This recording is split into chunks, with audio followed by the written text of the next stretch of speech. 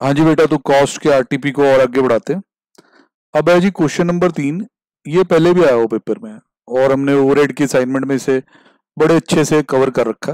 पर क्वेश्चन अच्छा है मतलब जैसे कोई बंदा है जिसने पहले ना किया हो, उसको दिक्कत काफ़ी ज़्यादा दे सकता है ये। तो मैं सारे जो अच्छे वाले पॉइंट हैं, वो डिटेल में रख दूँगा आपके सामने। देखिए जी, शुरू कीजिए। You are given the following info of three machines for the manufacturing department of X limited preliminary estimate of the expenses per annum जब भी ये वर्ड लग गया प्रीलिमरी एस्टिमेट मतलब कि शुरुआत में लगाया गया अंदाज़ा, जिस तरह कोई बुरा हो जाता है, कुछ दुर्घटना हो जाती है, तब भी कई बार आता है ना, शुरुआती आंकड़े बता रहे हैं। समझे कि नहीं? प्रीलिमरी एस्टिमेट का मतलब आपने शुरू में एक अंदाज़ा लगाया। अब इसका हमारी पढ़ाई में क्या रेलेवेंस है, वो समझे। सर, यहाँ कोई ना कोई खर्चा पक्का चेंज होगा ही होगा। मतलब ये प्रीलिमरी एस्टिमेट है तो आगे वो कुछ ना कुछ बताएगा ही बताएगा कि ये वाले खर्चे में ऐसे कर दो। डेप्रिसिएशन तीनों मशीनों में बांटी हुई है spare parts power power combined है, बांट लेंगे इन्फॉर्मेशन आ जाएगी। कंज्यूमेबल स्टोर्स बांटे हुए हैं। Insurance of machinery indirect labour building maintenance expense interest normally हम इग्नोर करते हैं। Monthly charges for rent and rates salary of foreman per month salary of attendant per month फिर लिखा foreman and attendant control all three machine and spend equal time on them तो divide by तीन कर देना इनके खर्चे को। Following additional information is available labour are available है machine wise ratio of kilo watt rating kilo watt rating बहुत important sir power का एक्सपेंस बांटने में काफ़ी अच्छा बेस माना जाता है। फ्लोर स्पेस एरिया रिलेटेड खर्चे जैसे रेंट रोंट वगैरह बांटने काम आएगा। सर, जैसा पिछला क्वेश्चन था ना लेबर का, उसमें भी आर्स में ही थोड़ा सा पॉइंट था कि आर्स कैसे निकालने, वहाँ तो चलो अल्टीमेटली एक गलती है। यहाँ गलती नहीं है, पर इसमें भी आर्स निकालने में ही अच्छा पॉइंट है। जब ये पेपर में लगा था, तब भी यही बच्चे फंसे। There are twelve holidays beside Sunday in there और which two are on Saturday कहते संडे के अलावा बारह छुट्टियाँ मतलब संडे तो छुट्टी है ही। है सिलेबस सिलेबस पूरा करने का कोई चक्कर नहीं है भाई संडे ऑफ़ है इनका। बारह छुट्टियाँ और है संडे के अलावा, उसमें से दो सैटरडे को पड़ती हैं। अब सैटरडे वैसे वर्किंग है पर कोई दिन त्योहार की बार सैटरडे को भी आ जाता है ना तो दो जो छुट्टियाँ बारह में से वो सैटरडे को है। अब manufacturing department work eight hours in a day Saturday half day मतलब सैटरडे जो वर्किंग है, जिसमें दो छुट्टियाँ भी हैं कहीं, पर उस सैटरडे का वैसे जो वर्किंग है ना, वो थोड़ा ही है। कितना है? चार घंटे। मशीन नाइन्टी परसेंट कैपेसिटी पे काम कर रहे हैं। दो परसेंट रीजनेबल है ब्रेकडाउन के लिए मानना। अभी आप कहोगे, सर, आपको प्रीलिमिनरी एस्टिमेट का इफ़ेक्ट तो आया नहीं। सर, आने लगा। You are required to calculate predetermined machine hour rate for अब machine after taking into account the following factors पंद्रह परसेंट इंक्रीज है स्पेयर पार्ट्स में। पच्चीस परसेंट इंक्रीज है consumption of spare parts for B और C only पंद्रह percent increase है price of spare part जो कीमतें हैं वो पंद्रह परसेंट बढ़ी हैं। और क्वांटिटी भी बढ़ रही है। सभी मशीनों के लिए कंजम्पशन नहीं बढ़ रही है। किसमें बढ़ रही है? बी और सी में। तो twenty percent increase general wage rate में भी है। जनरल इंक्रीज है वेज रेट में। ये सर इस सारा क्वेश्चन हो जाएगा। कोई दिक्कत वाली बात नहीं है। सबसे इंपॉर्टेंट है इसमें आर्स पे क्लैरिटी बनना। कभी कभी ये क्वेश्चन बच्चे ये भी कहते थे क्लास में कि, सर, ये ना वैसे प्राइमरी सेकेंडरी वाला सम दिखता है। एक्चुअली ये मशीन आर रेट का सम है बेटा। मशीन आर रेट के सम की तरह ही करना। तो मशीन आर रेट के सम में स्टैंडिंग चार्जेस और फिर मशीन एक्सपेंसेस अलग अलग कर दिए जाते हैं, आपको अच्छे से पता। ठीक है सर? मैं इसमें अब आपको बताने लगा हूँ आर्स का चक्कर कैसे सुलझाया जाए। और सर, इसका भी कैलकुलेशन खुद बनाते हैं आर्स का। ऐसे बात नहीं बनेगी इंस्टीट्यूट वाले नोट से। 365 डेज़ ऐसा पेपर में करने से पहले आप ये ज़रूर देख लेना कि उसमें कहीं 360 की एजम्पन तो नहीं है नहीं है सर। सर, अब इसको थोड़ा सा सजा लो। एक तो हम जिसे कहते हैं ना week days Monday to Friday ये हमारे वीक डेज़ होते हैं। फिर हमारा सैटरडे आता है। फिर हमारा संडे आता है। वीकेंड कह देते हैं जिन्हें। इस तरह मनाते हैं। सर हम 52 सैटरडे मान रहे हैं, साल में 52 ही संडे मान रहे हैं। प्रोबेबिलिटी का एक क्वेश्चन आपको याद आ रहा होगा कि देर आर 53 वो आपने करना हो, आपकी मर्ज़ी है। 53 वाली बात ना ही करें तो ज़्यादा अच्छा इसका मतलब जो वीकडेज हैं मंडे टू फ्राइडे वो 261 है। देखो ना, मैंने 104 इसमें से माइनस कर दिया। अब यहाँ होनी है छुट्टियाँ हॉलीडेज सर देखिए संडे ऑफ़ रहेगा संडे वर्किंग नहीं रहेगा।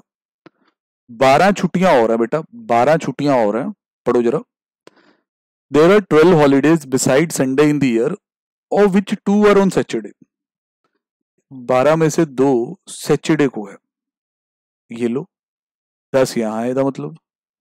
Two fifty one days fifty days बोलो भी बात क्लियर हाँ जी सर बिल्कुल clear two fifty one days ये आपके वीकडेज में हैं और जो आपका सैटरडे है, वो फिफ्टी वर्किंग होंगे। अब सर मैक्सिमम आवर्स अगर देखा जाए 251 को तो आप मल्टीप्लाई कर सकते हो आठ घंटे से। ठीक है सर 50 जो सैटरडे है वो आपको पता हाफ़ डे है। तो ये 200 घंटे यहाँ आ रहे two fifty one into eight करते तो 2008 आ रहे प्लस दो सौ। बाईस आठ घंटे मेरे पास टोटल बन रहे हैं। पर ये मैं इफ़ेक्टिव आवर्स एंटिसिपेटेड आवर्स कुछ भी नहीं कहूँगा ऐसा। सर देखो पॉइंट और भी है। सिर्फ़ इतना ही पॉइंट नहीं था। पॉइंट इसके बाद भी है। लिखा हुआ है, सारी मशीनें 90 परसेंट कैपेसिटी पे काम करेंगी और दो परसेंट रीजनेबल है ब्रेक डाउन के लिए भी मानना कि खराबी भी आ सकती है, उस वजह से मशीन रुक जाती है। उसे ब्रेक डाउन कहते हैं। ठीक है, सर? अब इसका इंस्टीट्यूट ने कैसे किया? इंस्टीट्यूट ने भी ठीक समझाया। अब किसी ने अगर इससे भी समझ ना होगा तो उसे समझ तो आ ही जाता होगा, इतनी कोई दिक्कत वाली बात नहीं है। देखो इंस्टीट्यूट भी हमारी तरह बाईस घंटे पे पहुँच चुका ये आप देख सकते हैं, हम भी बाईस घंटे पे आगे अब दो स्टेप होने हैं। एक तो 90 परसेंट की एडजस्टमेंट कि 90 परसेंट कैपेसिटी पे लाना है।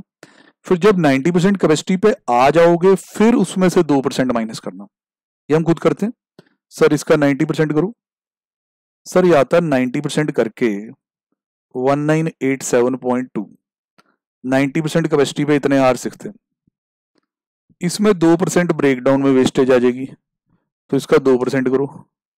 सर, ये आता thirty nine point seven four तो उसको मान लो मैंने thirty nine point seven four या एज इट इज़ लिख दिया। इसको इसमें से माइनस किया।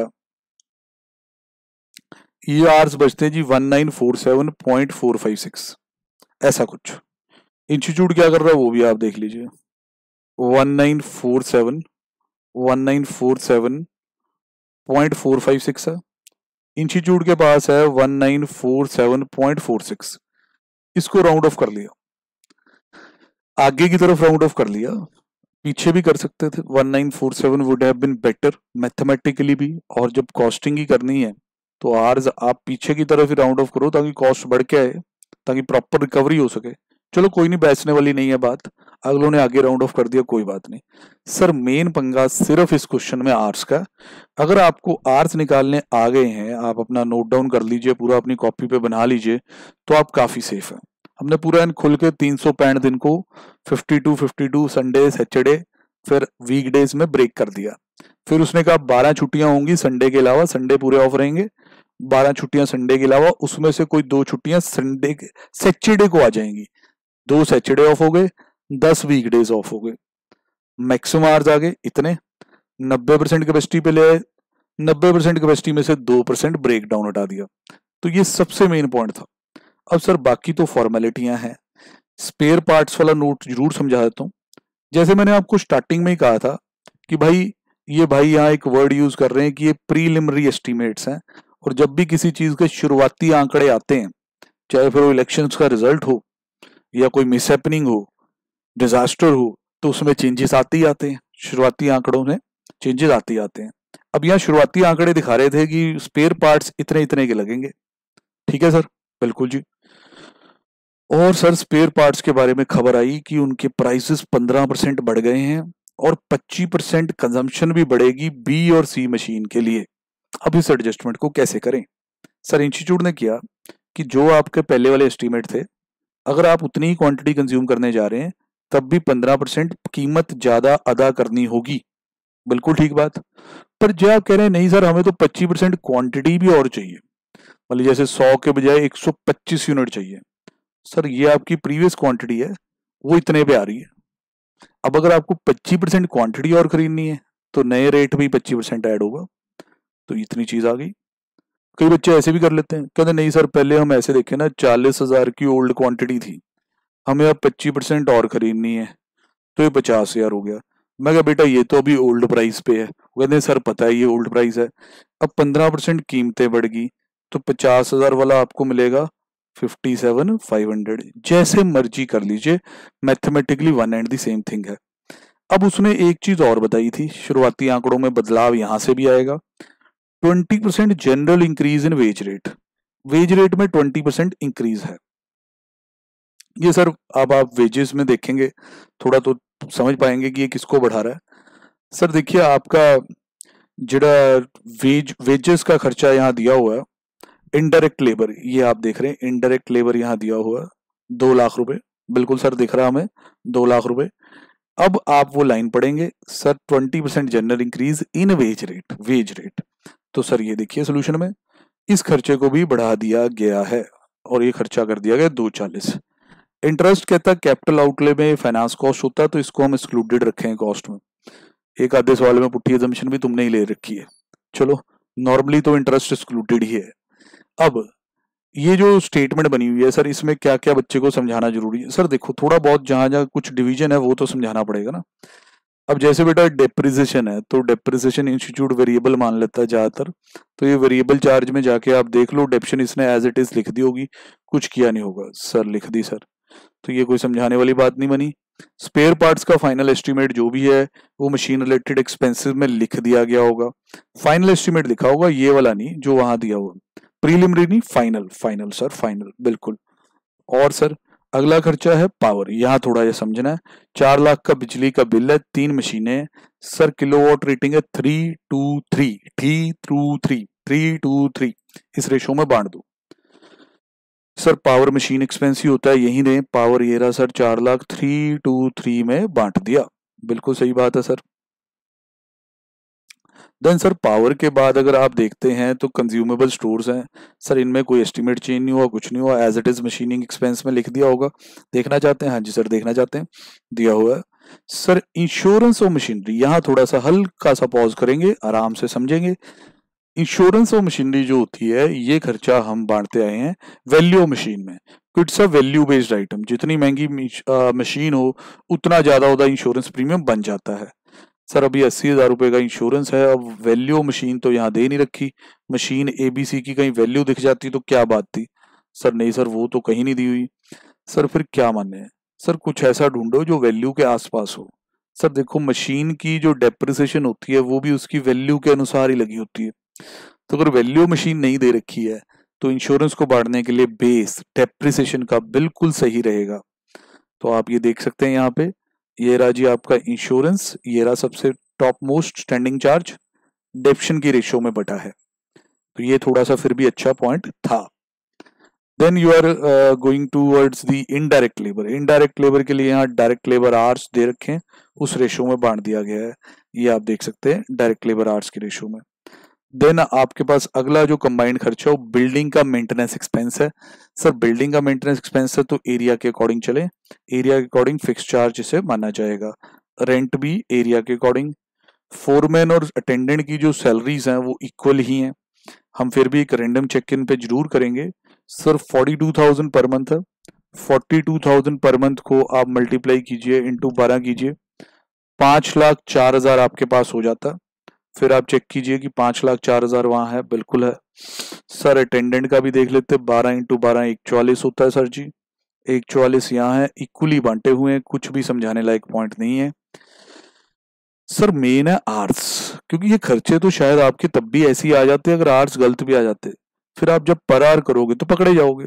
तो आर्ट्स पे ध्यान दीजिए, और इस क्वेश्चन में मेरा नहीं ख्याल कि कुछ ज़्यादा बनता था। तो बिल्कुल नॉर्मल सा क्वेश्चन था। तो इस क्वेश्चन को यहीं खत्म करते हैं जी। अगला क्वेश्चन अगली वीडियो में। ओके जी बेटा।